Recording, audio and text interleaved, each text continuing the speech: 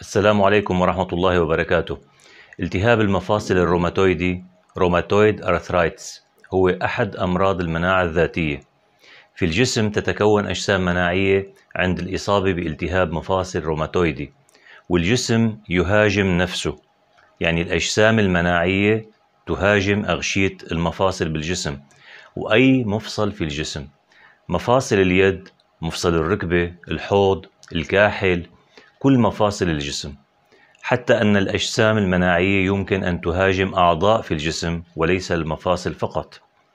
وكون التهاب المفاصل الروماتويدي مرض مناعي ذاتي فللأسف ليس له علاج ناجع يعني ليس له علاج شافي نهائي. كل ما أقدمه أنا وزملائي الأطباء هو محاولة لتثبيط وتهدئة الجسم كي لا يهاجم نفسه. المتابعة مع الطبيب هامة جدا حتى لا تتفاقم الحالة وتتطور سوءا وتصل لمرحلة يكون وقتها لابد من العمل الجراحي مثل حالات تشوهات بعض مفاصل اليدين حيث يكون العمل الجراحي هام جدا طيب ما هي أعراض التهاب المفاصل الروماتويدي؟ جهازك المناعي يقوم بتصنيع أجسام مناعية للدفاع عن جسمك وعندما تخطئ هذه الأجسام المناعية هدفها وتقوم بمهاجمة جسمك تظهر في جسمك أمراض اسمها أمراض المناعة الذاتية. من هذه الأمراض التهاب المفاصل الروماتويدي وشائع بين الناس باسم روماتويد. وطبعا غير السبب السابق ممكن يكون هناك سبب جيني أو أسباب أخرى. أول عرض ألم مفاصل لا يظهر بشكل مفاجئ إنما يظهر ويترقى تدريجيا خلال أشهر. غالبا الألم يظهر في عدة مفاصل والشائع هو مفاصل اليد والرسغ الألم يظهر صباحا غالبا باليد وممكن الرسغ وأحيانا بجميع مفاصل الجسم. ممكن يظهر الألم بالقدمين الركبة الكاحل مفصل الفخذ مع الحوض المرفق الكتف وأحيانا بفقرات العنق. طبعا الطريقة اللي حكيت عنها بظهور الألم هي الطريقة الشائعة لكن ممكن يظهر الألم بطرق أخرى متعددة في مفاصل الجسم. من الأعراض أيضا غير الألم وذمة بمفاصل اليدين تلاحظها صباحا ومن الأعراض أيضا تيبس مفاصل صباحي باليدين والقدمين. وممكن بالظهر أثناء محاولة الوقوف بعد جلوسك لفترة ساعة مثلا. من الأعراض أيضا إحمرار وسخونة المفاصل مع الألم. هذه الأعراض تظهر صباحا لكنها تتحسن وتختفي خلال ساعات وعلى مدار اليوم. لما تظهر عندك هذه الأعراض وخاصة إذا بأسرتك أو عائلتك يوجد شخص لديه أحد أمراض المناعة الذاتية مثل التهاب مفاصل روماتويدي أو صدفية أو ذئبة حمامية إذا ظهرت هالأعراض يجب زيارة الطبيب الاختصاصي بأمراض المفاصل والروماتيزم لتشخيص المرض بشكل مبكر والبدء بخطة علاج مناسبة. والأعراض اللي ذكرتها لها استثناءات لكن تبقى هي الأعراض الأساسية. أنا هنا أساعدك فقط وأرشدك كي تهتم وتتجه للطبيب. وكما أقول دائما لا يوجد حالة مريض تطابق حالة مريض آخر. كل حالة مريض هي حالة مختلفة عن الآخر. في التهاب المفاصل الروماتويدي وفي كل الأمراض.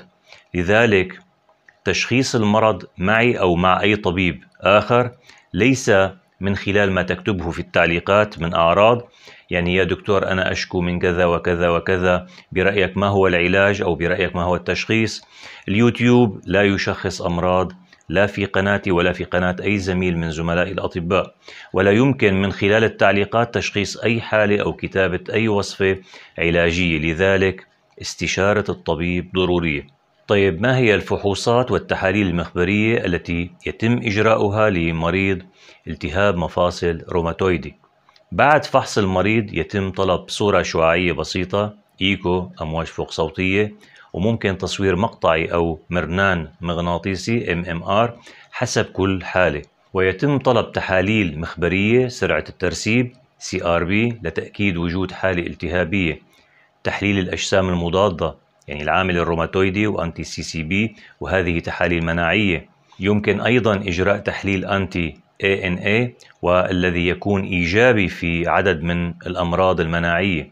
وممكن طلب تحاليل مناعية أخرى حسب حالة المريض. ويتم طلب تحليل وظيفة الغدة الدرقية وتحليل وظيفة الغدد جار الدرقية لاستبعاد وجود مشكلة فيها موجودة مع الالتهاب المناعي في المفاصل. يجب إجراء تحليل الصورة للدم كاملة وأنزيمات الكبد ووظائف الكلى. يجب إجراء تحليل الفيروسات الكبدية المزمنة فحص مهم للتأكد من أن هناك إمكانية لإعطاء المريض مثبطات مناعية. إذا كان التشخيص مرض مناعي التهابي نشط في المفاصل. طيب جرعة الكورتيزون والأدوية المثبطة للمناعة هل هي الحل الوحيد والدائم؟ علاجك وأدويتك ممنوع تتركها أو تستغني عنها لا في هذا المرض ولا في أي مرض آخر مثل السكري والضغط والكوليسترول الكبد الدهني. إياك أن تعدل الجرعات أو تترك الدواء إلا بإشراف الطبيب. طيب ما هو النظام الغذائي لمريض التهاب المفاصل الروماتويدي؟ النظام الغذائي الذي سأتحدث عنه مفيد ومساعد لتحسين النتائج الخاصة بالخطة الدوائية العلاجية.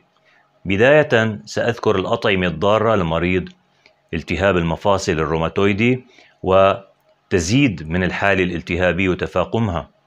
السكر الأبيض المكرر والحلويات والمعلبات والزيوت النباتية المكررة والمهدرجة والحبوب المكررة. فتناول هذه الأطعمة يزيد من الحالة الالتهابية بالجسم وفي المفاصل بشكل خاص ويعتبر السكر المكرر الخطر الأكبر على المفاصل. وطبعا السكر الأبيض والسكر البني مختلفان باللون فقط لكن لهما نفس التأثير الخطير على المفاصل. يجب أيضا الابتعاد عن الشيبسات والمقرمشات والحليب كل أنواع الحليب. وإذا كان لابد من بديل فالبديل الصحي للحليب هو حليب جوز الهند. بالنسبة للزيوت المكررة والمهدرجة هي تسبب زيادة الحالة الالتهابية بالجسم وتشمل زيت عباد الشمس وزيت الذرة زيت الصويا وزيت النخيل الموجود بالشيبسات والبسكويت وجميع النقرشات المعلبة أو الموجودة في أكياس. هذه الزيوت فيها نسبة كبيرة جدا من أوميغا 6 وأوميغا 6 يحرض الالتهاب بشكل كبير ويزيد من الحالة الالتهابية بالجسم. بالنسبة للحبوب المكررة الضارة القمح منتجات القمح الدقيق الشعير الحنطة السوداء والدخن خبز معكرونة بيتيفور معجنات جميعها تحت بند الحبوب المكررة. هذه الحبوب تحرض الالتهاب بشكل عام وبتزيد من الحالة الالتهابية بالجسم بسبب وجود بروتين بتكوينها هو الجلوتين اللي بيزيد من حدة الأعراض وسوء حالة المريض. الشوفان ممكن يكون بديل لهذه الحبوب فهو لا يحتوي على الجلوتين. وأذكر بضرورة الامتناع عن الأطعمة المالحة وتقليل تناول الشاي والقهوة. الأطعمة والأغذية المفيدة بعلاج التهاب المفاصل الروماتويدي زيت الزيتون البكر الممتاز هو أفضل الزيوت على الإطلاق وخاصة لمريض التهاب المفاصل الروماتويدي. له تأثير مضاد للالتهاب وأيضا مضاد للأكسدة. الأطعمة الغنية بأوميغا 3 مفيدة جدا مثل الأسماك وخاصة سمك السلمون ويفضل تقليل تناول اللحوم والامتناع تماما عن اللحوم المبردة واللحوم المصنعة والوجبات السريعة. المكسرات مفيدة جدا وخاصة الجوز واللوز. الفاكهة المفيدة التفاح والفريز أو الفراولة والعنب الأحمر والأسود التوت الأحمر والأسود الرمان. الخضروات بشكل عام جيدة ومفيدة وخاصة الخضروات الورقية.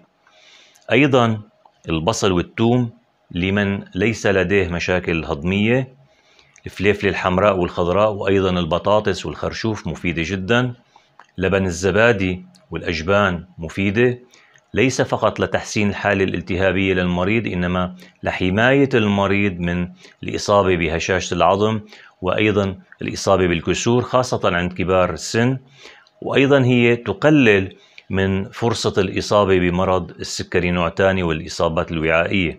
الرز البني كامل القشرة مفيد الكينوا الكاملة مفيدة الشوفان مفيد القريص أو القراص أو الحريقة أو الحريقة كما آه، تسمى في بلاد المغرب العربي نبات مفيد جدا لمريض التهاب المفاصل الروماتويدي يمكن طبخه مع زيت الزيتون مثل السبانخ أو الخبيزة وإضافة القليل من عصير الليمون والثوم له وتناوله. هذه النبتة فيها أشواك كثيرة وصغيرة على الأوراق وتحت الساق ربما عشرات آلاف الأشواك. وضع النبتة على المفصل المصاب وفركها عليه له تأثير مفيد جدا. مع أنها مزعجة للجلد قليلا لكن فائدتها للمفاصل كبيرة فهي تعمل كمضاد التهاب وأيضا كمضاد هستامين ومفيدة لحالات الحساسية بشكل عام. ممكن إضافة هذه النبتة للشوربات وممكن غليها وشربها مثل أي مشروب دافئ. هي منتشرة في جميع دول العالم تقريبا ورخيصة الثمن حتى أنها موجودة في معظم الأراضي الزراعية. البهارات والأعشاب المفيدة لمريض التهاب المفاصل الروماتويدي ومرضى الأمراض المناعية الأخرى يعني التهاب المفاصل الصدفي التيبس الفقاري والذئبة الحمامية. الكركم مفيد جدا كمضاد التهاب ومضاد أكسدة.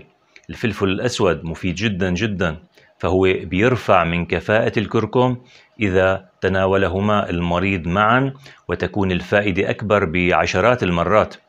الزنجبيل رائع ومفيد كمضاد التهاب ومضاد أكسدة.